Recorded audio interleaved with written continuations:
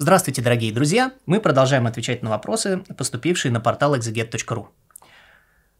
Может ли православный человек изучать язычество?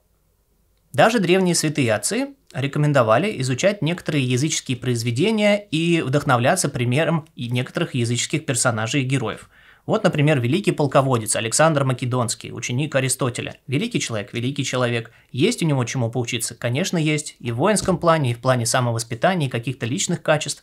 Единственное, что мы э, стараемся все исследовать, а доброго держаться, как говорил апостол Павел отфильтровать те вещи, которые нам не подходят, например, его языческое мировоззрение мы перенимать не будем, и выделить те вещи, которые достойны подражания, как его, например, вот доблесть, стратегические какие-то таланты э, и прочие добродетели. Иногда люди изучают язычество, например, ну вот из исследователь, исследовательского интереса или из э, любви к какой-то культуре, например, там восточной, скандинавской, греческой. Ведь вас же не смущает, что мы изучали в свое время в школе и греческую мифологию, и скандинавскую скандинавскую мифологию.